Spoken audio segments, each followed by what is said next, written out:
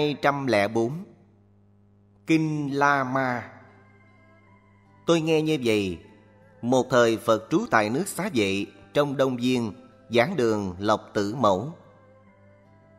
Pháp hội La Ma. Bây giờ Thế Tôn vào lúc xế trưa, Từ tỉnh tọa dậy, Bước xuống giảng đường, Nói với tôn giả A Nan rằng, Bây giờ ta và ngươi đến sông A Di La Bà Đề để tắm. Tôn giả A Nan bạch rằng: Xin dân bạch Thế Tôn. Rồi tôn giả A Nan cầm then cửa tản bộ đi khắp các cốc, gặp tỳ kheo nào cũng nói rằng: Chư hiền, hãy đi đến nhà Bà La Môn La Ma. Các tỳ kheo nghe nói, bèn cùng nhau đến nhà Bà La Môn La Ma. Thế Tôn dẫn Tôn giả A Nan đi đến sông A Di La Bà Đề, cởi y để trên bờ rồi xuống nước tắm. Tắm xong, trở lên lau mình mặc y. Bấy giờ Tôn giả A Nan đứng sau Thế Tôn, cầm quạt quạt Phật. Rồi Tôn giả A Nan chắp tay hướng về Đức Phật bạch rằng: Bạch Thế Tôn, nhà của Bà La Môn La Ma rất tốt, ngăn nắp, rất khả ái Cuối mong Thế Tôn vì lòng từ bi mẫn đi đến nhà của Bà La Môn La Ma. Thế Tôn im lặng nhận lời của Tôn giả A Nan, rồi Thế Tôn dẫn Tôn giả A Nan đi đến nhà Bà La Môn La Ma. Bấy giờ tại nhà của Bà La Môn La Ma, một số đông tỳ kheo đã tụ tập ngồi lại để thuyết pháp. Đức Phật đứng ngoài cửa, đợi các tỳ kheo nói pháp xong khi số đông các tỳ kheo đã nói pháp xong, các ngài ngồi im lặng. Thế Tôn biết rồi, bèn tăng hắn và gõ cửa. Các tỳ kheo nghe tức thì đi ra mở cửa. Thế Tôn bước vào nhà Bà La Môn La Ma, trải chỗ ngồi trước chúng tỳ kheo mà ngồi và hỏi: Các tỳ kheo vừa rồi nói những câu chuyện gì vậy? Vì công việc gì mà tụ tập ngồi ở đây? Lúc ấy các tỳ kheo đáp rằng Bạch Thế Tôn Vừa rồi chúng con thuyết pháp Do pháp sự này mà tụ tập ngồi tại đây Thế Tôn khen rằng, Lành thay lành thay, Tỳ kheo khi tụ tập ngồi lại Nên làm hai việc, Một là thuyết pháp, Hai là im lặng. Vì sao vậy, Ta sẽ giảng pháp cho các ngươi. Hãy lắng nghe, Hãy lắng nghe, Hãy tư niệm kỹ. Lúc ấy, các tỳ kheo bạch rằng, Chúng con kính dân lời lắng nghe. Thánh cầu và phi thánh cầu Đức Phật nói Một, có hai loại tìm cầu Một là thánh cầu và hai là phi thánh cầu Thế nào là phi thánh cầu? Có một hạng người thật sự lệ thuộc bệnh tật Nhưng lại tìm cầu tật bệnh Thật sự lệ thuộc sự chết nhưng lại tìm cầu sự chết. Thật sự lệ thuộc vào ưu bi khổ não, lệ thuộc sự tạp úy, nhưng lại tìm cầu sự tạp úy. Thế nào là thật sự lệ thuộc vào bệnh tật, nhưng lại tìm cầu sự bệnh tật? Thế nào là pháp lệ thuộc bệnh? Con cái, anh em, đó là bệnh pháp. Doi, ngựa, bò, dê, nô tỳ, tiền tài, trân bảo, lúa gạo là sự bệnh pháp. Chúng sanh ở trong đó xúc chạm, đắm nhiễm, tham ái, dính trước, kiêu ngạo mà thọ nhập, không thấy sự nguy hiểm, không thấy sự xuất yếu. Thế nào là pháp lệ thuộc sự già, sự chết, sự sầu bi ưu não, sự tạp ủy? Con cái, anh em, đó là pháp tạp ủy.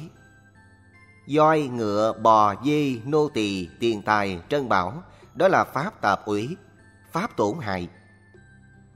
Chúng sanh ở trong đó đắm nhiễm, xúc chạm, tham ái, dính trước, kiêu ngạo mà thọ nhập, không thấy sự nguy hiểm, không thấy sự xuất yếu. Người đó dù muốn tìm cầu cái không tật bệnh, an ổn, vô thượng, niết bàn, nhưng đạt được niết bàn an ổn, vô thượng đối với người ấy là trường hợp không thể có. Người đó tìm cầu cái không già, không chết, không sầu bi ưu não, không tạp úy, vô thượng an ổn niết bàn. Nhưng đạt được niết bàn vô thượng an ổn đối với người đó là trường hợp không thể có. Đó gọi là phi thánh cầu. Hai, Thế nào là thánh cầu? Có một hạng người suy nghĩ như thế này. Ta thật sự lệ thuộc tật bệnh. Không bỏ tìm cầu pháp tật bệnh. Ta thật sự lệ thuộc sự già, sự chết, sự sầu bi khổ não, sự tạp ủy. Không bỏ sự tìm cầu pháp tạp ủy. Vậy ta hãy tìm cầu cái không bệnh, vô thượng an ổn niết bàn. Tìm cầu cái không già, không chết, không sầu bi ưu não, không tạp ủy, vô thượng an ổn niết bàn. Người ấy bèn tìm cầu cái không bệnh, vô thượng an ổn niết bàn và đạt được không bệnh. Vô thượng an ổn niết bàn đối với người ấy là trường hợp có thể có. Người đó tìm cầu cái không già, không chết, không sầu bi ưu não, không tạp ủy, vô thượng an ổn niết bàn và đạt được không già, không chết, không sầu bi ưu não, không tạp ủy, vô thượng an ổn niết bàn đối với người đó là trường hợp có thể có. Thích tôn tầm đạo Ta trước kia khi chưa chứng vô thượng chánh đẳng chánh giác cũng suy nghĩ như vậy. Ta thật sự lệ thuộc tật bệnh, không bỏ tìm cầu sự tật bệnh.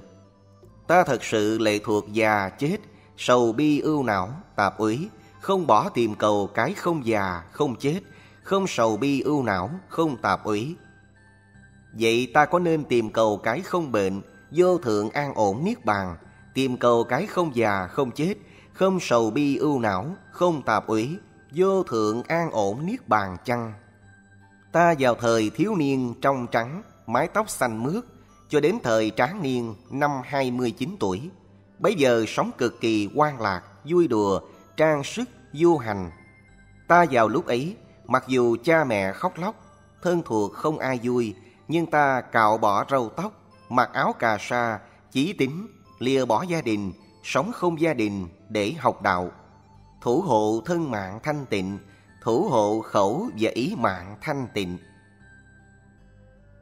Học đạo A-la-la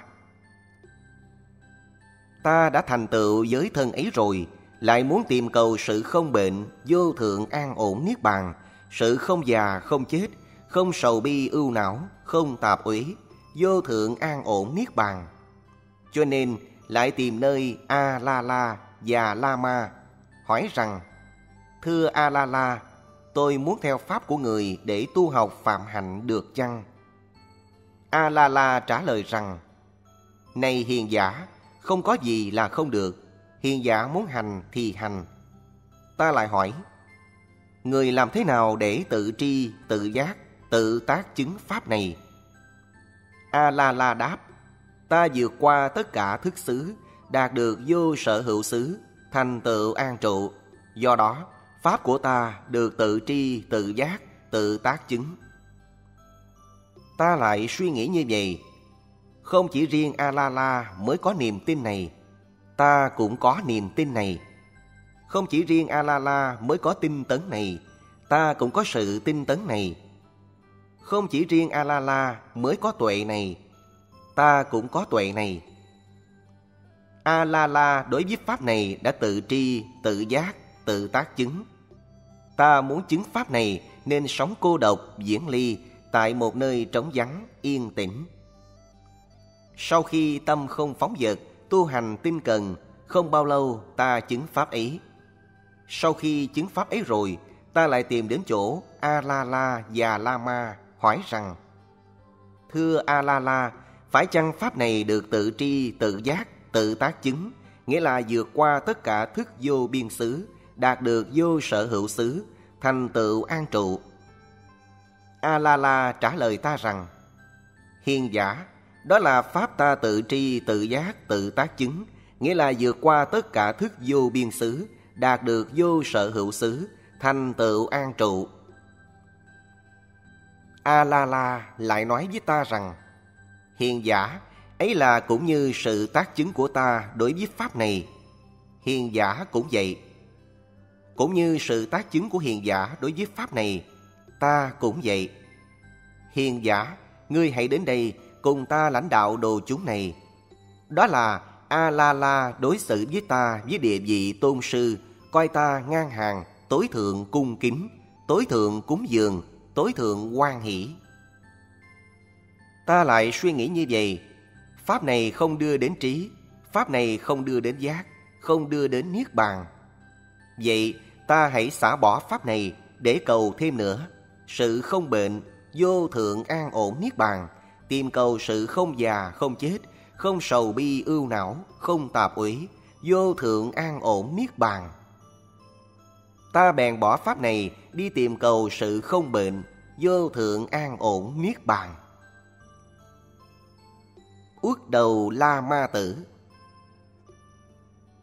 Rồi ta đi đến chỗ Uất đầu La La Ma Tử, hỏi rằng Thưa Uất Đà La, tôi muốn ở trong Pháp của người mà học hỏi, có thể được chăng?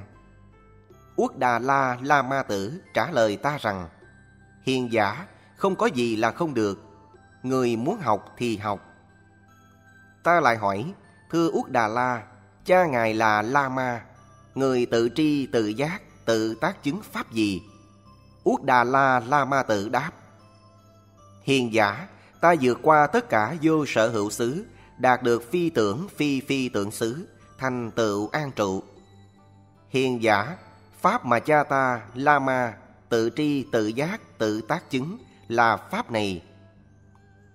Ta lại suy nghĩ như vậy. Không chỉ riêng La Ma mới có niềm tin này, ta cũng có niềm tin này. Không chỉ riêng La Ma mới có sự tin tấn này, ta cũng có sự tin tấn này. Không chỉ riêng La Ma mới có tuệ này, ta cũng có tuệ này. Lama đã tự tri, tự giác, tự tác chứng Pháp này, Tại sao ta lại không tự tri, tự giác, tự tác chứng Pháp này? Vì ta muốn chứng Pháp này, cho nên sống cô độc tại một nơi xa vắng, không nhàn, yên tĩnh, tâm không phóng dật, tu hành tinh cần. Sau khi ta sống cô độc, diễn ly tại một nơi trống vắng, yên tĩnh, không bao lâu chứng được Pháp ý. Khi chứng được Pháp ấy rồi, ta lại đến Uất Đà La La Ma Tử hỏi rằng Thưa Uất Đà La La Ma Tử, cha ngài là La Ma, phải chăng Pháp này được tự tri, tự giác, tự tác chứng, nghĩa là vượt qua tất cả vô sở hữu xứ, đạt được phi tưởng, phi phi tưởng xứ, thành tựu an trụ. Uất Đà La La Ma Tử trả lời ta rằng, Hiền giả, cha ta là La Ma, đây là Pháp được tự tri, tự giác, tự tác chứng, nghĩa là vượt qua tất cả vô sở hữu xứ, đạt được phi tưởng, phi phi tưởng xứ, thành tựu an trụ. Uất Đà La lại nói với ta rằng, cũng như cha ta, La Ma, tác chứng pháp này, hiền giả cũng vậy. Cũng như hiền giả tác chứng pháp này, cha ta cũng vậy. Hiền giả, hãy đến đây cùng ta lãnh đạo đồ chúng này.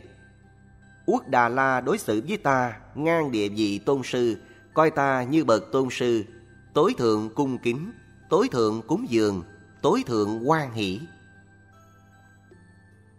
Ta lại suy nghĩ như vậy, Pháp này không đưa đến trí, không đưa đến giác, không đưa đến Niết Bàn. Vậy ta hãy xả bỏ Pháp này để đi tìm cầu thêm nữa. Sự không bệnh, vô thượng an ổn Niết Bàn, tìm cầu sự không già, không chết, không sầu bi ưu não, không tạp uế, vô thượng an ổn Niết Bàn. Ta liền xả bỏ Pháp ấy để đi tìm cầu sự không bệnh, vô thượng an ổn niết bàn, tìm cầu sự không già, không chết, không sầu bi ưu não, không tạp uế, vô thượng an ổn niết bàn. Bên sông Ni Liên Thiền Rồi ta đi về phía nam núi Tượng Đỉnh, đến tại Uất Tỳ La, một ngôi làng của Bà La Môn tên gọi là Tư Na đây là một khoảng đất xinh xắn, khả ái, núi rừng sầm uất, sông Ni Liên Thiền với dòng nước trong xanh chảy tràn lên bờ.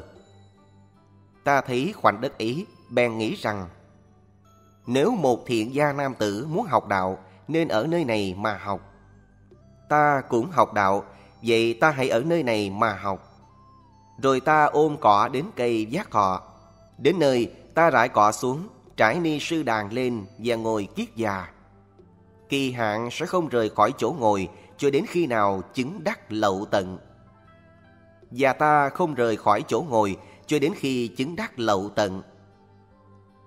Ta tìm cầu sự không bệnh, vô thượng an ổn niết bàn, liền đạt được sự không bệnh, vô thượng an ổn niết bàn. Ta tìm cầu sự không già, không chết, không sầu bi ưu não, không tạp uế, vô thượng an ổn niết bàn. Liền đạt được sự không già, không chết, không ưu bi sầu não, không tạp uế, vô thượng an ổn niết bàn. Sanh tri, sanh kiến, định đạo phẩm pháp. Sự sanh đã dứt, phạm hạnh đã vững, việc cần làm đã làm xong, biết như thật, không còn tái sanh nữa. Khi ta vừa chứng vô thượng chánh đẳng chánh giác, liền nghĩ như vậy, ta sẽ thuyết pháp cho ai trước nhất. Rồi ta lại nghĩ rằng, ta có nên đi đến thuyết pháp cho A-la-la và Ma-la trước chăng? Lúc bấy giờ, có thiên thần trụ trong hư không nói với ta rằng, Đại tiên nhân xin biết cho A-la-la và Ma-la vừa mạng chung đến nay đã được bảy ngày, Ta cũng tự biết A-la-la và lama đã mạng chung được 7 ngày. Ta lại nghĩ như vậy, A-la-la và lama thiệt thòi thay cho người ấy, không nghe được Pháp này. Nếu nghe được Pháp này, người ấy sẽ nhanh chóng biết rõ Pháp tùy Pháp. Khi ta vừa chứng vô thượng chánh đẳng chánh giác, liền nghĩ như vậy, ta sẽ thuyết Pháp cho Út Đà La, La Ma Tử trước nhất chăng? Thiên thần lại trụ trong hư không nói với ta rằng Đại tiên nhân xin biết cho Uất Đà La La Ma Tử mạng chung đến nay đã hai tuần thất. Ta cũng tự biết Uất Đà La La Ma Tử mạng chung đã hai tuần thất. Ta lại nghĩ như vậy Uất Đà La La Ma Tử thiệt thòi thay cho người ấy không nghe được pháp này. Nếu nghe được pháp này, người ấy sẽ nhanh chóng biết rõ pháp tùy pháp. Khi ta vừa chứng vô thượng chánh đẳng chánh giác, ta liền suy nghĩ như vậy. Ta sẽ thuyết pháp cho ai trước nhất? Rồi ta lại nghĩ rằng, xưa kia năm tỳ kheo theo hầu hạ ta, giúp ta nhiều điều hữu ích. Khi ta tu hành khổ hạnh, năm tỳ kheo ấy đã thừa sự ta. Nay ta có nên thuyết pháp cho năm tỳ kheo trước kia chăng? Rồi ta lại nghĩ rằng, năm tỳ kheo thuở xưa ấy bây giờ đang ở đâu? Bằng thiên nhãn thanh tịnh vượt hẳn người thường, ta thấy năm tỳ kheo đang ở tại Ba La Nại, tiên nhân trú xứ trong vườn lộc giả. Dị học ưu đà Ta tùy thuận trụ dưới gốc cây giác thọ. Sau đó, ta thu dáng y, ôm bát đi về Ba La Nại, đến đô ấp Gia Thi. Bấy giờ, vị học ưu đà từ xa trông thấy ta đi đến, bèn nói với ta rằng, Hiền giả cù đàm, các căn thanh tịnh, hình sắc thù diệu, khuôn mặt ngời sáng. Hiền giả cù đàm, ai là tôn sư, theo ai học đạo, tin tưởng pháp của ai. Lúc bấy giờ ta liền nói bài kệ để trả lời ưu đà rằng Ta tối thượng chiến thắng, nhiễm trước pháp đã trừ, giải thoát ái diệt tận, tự giác không tôn sư, bậc vô đẳng đại hùng, tự giác vô thượng giác, như lai thầy trời người, biến tri thành tự lực.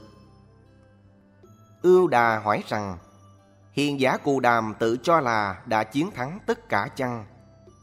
Ta lại nói bài kệ trả lời rằng, Đấng chiến thắng như vậy, các lậu đã tận trừ, ta sát hại ác pháp, nên ta đã chiến thắng. Ưu đà lại hỏi ta rằng, Hiền giả cụ đàm Bây giờ muốn đi về đâu?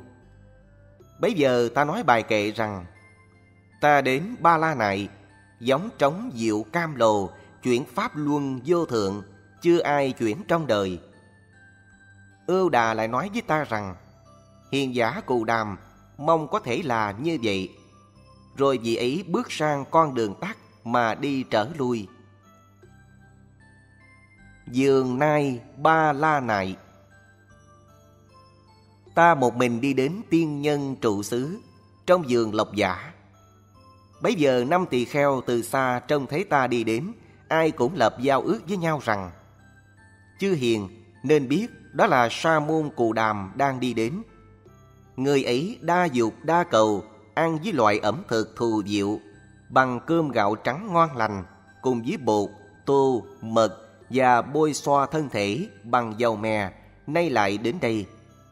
Các vị cứ ngồi chớ nên đứng dậy đón tiếp cũng đừng làm lễ. Danh sẵn cho một chỗ đó. Nhưng đừng mời ngồi, hãy nói rằng nếu bạn muốn ngồi xin cứ tùy ý. Rồi ta đi đến chỗ năm tỳ kheo Bây giờ năm tỳ kheo không cam nổi uy đức tối thắng thù diệu của ta Tức thì rời chỗ ngồi đứng dậy Người thì ôm y bát của ta Người thì trải chỗ ngồi Người thì lấy nước cho ta rửa chân Ta nghĩ rằng Những người ngu si này sao lại không bền chí Đã tự mình thiết lập điều ước hẹn Rồi lại làm trái điều giao hẹn Ta biết như vậy rồi bèn ngồi trên chỗ ngồi mà năm tỳ kheo đã dọn sẵn. Khi ấy, năm tỳ kheo gọi thẳng tên họ ta và xưng hô với ta là bạn. Ta nói với họ rằng, ta là Như Lai, vô sợ trước, đặng chánh giác. Các ngươi đừng gọi thẳng tên họ ta, cũng đừng gọi ta là bạn. Vì sao vậy? Ta vì tìm cầu sự không bệnh, vô thượng an ổn niết bàn, và đạt được sự không bệnh, vô thượng an ổn niết bàn. Ta tìm cầu sự không già, không chết, không sầu bi ưu não, không tạp úy, vô thượng an ổn niết bàn. Và đạt được sự không già, không chết, không sầu bi ưu não, không tạp úy, vô thượng an ổn niết bàn. Đã sanh tri, sanh kiến, định đạo phẩm pháp. Sự sanh đã dứt, phạm hạnh đã vững, Việc cần làm đã làm xong Không còn tái sanh nữa Họ nói với ta rằng Này bạn cù đàm Trước kia bạn hành như vậy Đạo tích như vậy Khổ hạnh như vậy Mà còn chưa chứng được Pháp Thượng Nhân Gần kề với Thánh Tri, Thánh Kiến Huống là ngày hôm nay Đa dục, đa cầu Ăn với thực phẩm thù diệu Với gạo trắng ngon lành Cùng với bột, tô, mật bôi xoa thân thể bằng dầu mè chăng? Ta lại nói rằng, Này năm tỳ kheo, các ngươi trước kia có bao giờ thấy ta như vậy với các căn thanh tịnh rạng rỡ sáng ngời chăng? Bấy giờ, năm tỳ kheo lại trả lời với ta rằng, Trước kia chúng tôi chưa từng thấy bạn với các căn thanh tịnh rạng rỡ sáng ngời. Nay bạn cù đàm, nay bạn với các căn thanh tịnh hình sắc thù diệu, khuôn mặt sáng ngời. Ta lúc ấy nói với họ rằng, Này năm tỳ kheo, có hai lối sống cực đoan mà những người học đạo không nên học. Một là đắm trước dục lạc, nghiệp hèn hạ, là lối sống của phàm phu. Hai là tự gây phiền, tự gây khổ, không phải là pháp hiền thánh, không tương ưng với cứu cánh. Này năm tỳ kheo, xả bỏ hai cực đoan ý có con đường giữa thành minh, thành trí, thành tự định, đạt đến tự tại, đưa đến trí, đưa đến giác, dẫn đến niết bàn. Đó là con đường tám chánh, từ chánh kiến cho đến chánh định là tám. Giáo hóa năm tỳ kheo Rồi ta lần lượt giáo hóa năm tỳ kheo. Khi giáo hóa cho hai người thì ba người đi khất thực ba người mang thức ăn về cho đủ sáu người ăn. Sau khi giáo hóa cho ba người, thì hai người đi khất thực. Hai người mang thức ăn về cho đủ sáu người ăn. Ta giáo hóa như vậy, họ tìm cầu sự không bệnh, vô thượng an ổn niết bàn. Và đạt được sự không bệnh, vô thượng an ổn niết bàn. Họ tìm cầu sự không già, không chết, không sầu bi ưu não, không tạp uý vô thượng an ổn niết bàn và đạt được sự không già, không chết, không sầu bi ưu não, không tạp uế và vô thượng an ổn niết bàn, sanh tri, sanh kiến, định đạo phẩm pháp. Sự sanh đã dứt, phạm hành đã vững, việc cần làm đã làm xong, biết như thật, không còn tái sanh nữa. Rồi Thế Tôn lại nói với họ rằng, Này năm tỳ kheo, có năm thứ công đức của dục, khả ái, khả lạc, khả ý, khả niệm hoàn toàn tương ưng với dục. Đó là sắc được biết bởi mắt, tiếng được biết bởi tai, hương được biết bởi mũi, vị được biết bởi lưỡi, xúc được biết bởi thân. Này năm tỳ kheo, phàm phu ngu si không đa văn, không gặp thiện hữu, không biết thánh pháp, không được chế ngự trong thánh pháp. Chúng xúc chạm đấm nhiễm, tham ái, dính trước, kiêu ngạo mà thọ nhập, không biết sự nguy hiểm, không thấy sự xuất yếu. Nên biết, chúng nghe theo ác ma, làm theo ác ma, rơi vào ác ma, bị lưới ma quấn chặt, bị cùng ma khóa chặt, không thoát khỏi sự trói buộc của ma. Này năm tỳ kheo, cũng như nai rừng bị dây buộc chặt, nên biết nó phải nghe theo thợ săn, làm theo thợ săn, rơi vào tay thợ săn, bị lưới thợ săn quấn chặt. Khi thợ săn đến, không thể trốn thoát. Cũng vậy, năm tỳ kheo, phàm phu ngu si không đa văn, không gặp thiện hữu, không biết thánh pháp, không điều ngự trong thánh pháp. Chúng đối với năm thú diệu dục mà xúc chạm, đắm nhiễm, tham ái, dính trước, kiêu ngạo, lăn xả vào, thọ dụng mà không thấy sự nguy hiểm, không thấy sự xuất yếu. Nên biết chúng phải nghe theo ác ma, làm theo ác ma, rơi vào tay ác ma, bị lưới ma quấn chặt, bị dây ma trói xiết, không thoát khỏi sự trói buộc của ma. Này năm tỳ kheo, đa văn thánh đệ tử, gặp thiện tri thức, hiểu biết thánh pháp, điều ngự trong thánh pháp. Những vị ấy đối với năm diệu dục, không xúc, không nhiễm, không tham, không trước, cũng không kiêu ngạo mà thọ nhập, mà thấy sự nguy hiểm, thấy sự xuất yếu. Nên biết họ không nghe theo ác ma, không làm theo ác ma, không bị rơi vào tay ác ma, không bị lưới ma quấn chặt, không bị dây ma trói xiết, bèn thoát khỏi sự trói buộc của ma. Này năm tỳ kheo, cũng như nai rừng thoát khỏi trói buộc, nên biết nó không phải nghe theo thợ săn, không phải làm theo thợ săn, không rơi vào tay thợ săn, không bị lưới thợ săn quấn chặt, không bị dây thợ săn buộc xiết. Khi thợ săn đến, nó có thể trốn thoát. Cũng vậy, này năm tỳ kheo, đa văn thánh đệ tử gặp thiện tri thức, hiểu biết thánh pháp, điều ngự trong thánh pháp. Vì ý, đối với năm công đức của dục, không xúc, không nhiễm, không tham, không trước, cũng không kiêu ngạo mà thọ nhập, mà thấy sự nguy hiểm, thấy sự xuất yếu. Nên biết, những người ấy không phải nghe theo ác ma, không phải làm theo ác ma, không rơi vào tay ma, không bị lưới ma quấn chặt, không bị dây ma buộc siết, bèn thoát khỏi sự trói buộc của ma.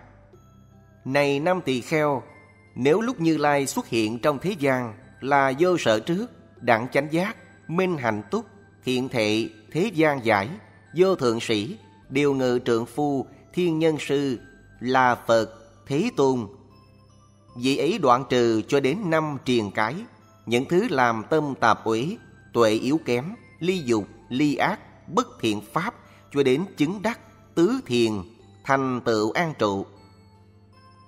Vị ấy với định tâm thanh tịnh như vậy, không uế, không phiền, nhu nhuyến, an trụ vững vàng, đạt đến bất động tâm, tu học và tác chứng, lậu tận trí thông. Vị ấy biết như thật, đây là khổ, biết như thật, đây là khổ tập, biết như thật, đây là khổ diệt, đây là khổ diệt đạo. Biết như thật, đây là lậu, đây là lậu tập, đây là lậu diệt, đây là lậu diệt đạo. Vị ấy biết như vậy, thấy như vậy, tâm giải thoát dục lậu, tâm giải thoát hữu lậu, vô minh lậu. Giải thoát rồi, biết mình đã giải thoát, biết như thật rằng sự sanh đã dứt, phạm hạnh đã vững, điều cần làm đã làm xong, không còn tái sanh nữa. Vì ý bây giờ tự tại đi, tự tại đứng, tự tại ngồi, tự tại nằm. Vì sao vậy? Vị ấy đã tự mình thấy rõ vô lượng pháp ác bất thiện đã diệt tận. Cho nên vị ấy tự tại đi, tự tại đứng, tự tại ngồi, tự tại nằm. Này năm tỳ kheo, cũng như trong khu rừng vắng, nơi không có bóng người.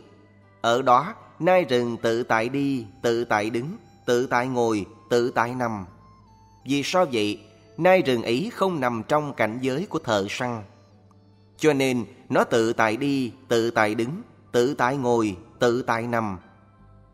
Cũng vậy, này năm tỳ kheo, tỳ kheo lậu tận, chứng đắc vô lậu, tâm giải thoát, tuệ giải thoát. Biết như thật, sự sanh đã dứt, phạm hành đã vững, điều cần làm đã làm xong, không còn tái sanh nữa. Vị ấy lúc bấy giờ, tự tại đi, tự tại đứng, tự tại ngồi, tự tại nằm. Vì sao vậy? Vì vị ấy tự mình thấy vô lượng pháp ác bất thiện đã diệt tận. Cho nên tự tại đi, tự tại đứng, tự tại ngồi, tự tại nằm. Này năm tỳ kheo, đó gọi là giải thoát vô dư, đó gọi là sự không bệnh, vô thượng an ổn niết bàn. Đó gọi là sự không già, không chết, không sầu bi ưu não, không tạp uế, vô thượng an ổn niết bàn. Đức Phật thuyết như vậy, tôn giả A Nan và các tỳ kheo sau khi nghe Phật dạy xong, quan hỷ phụng hành.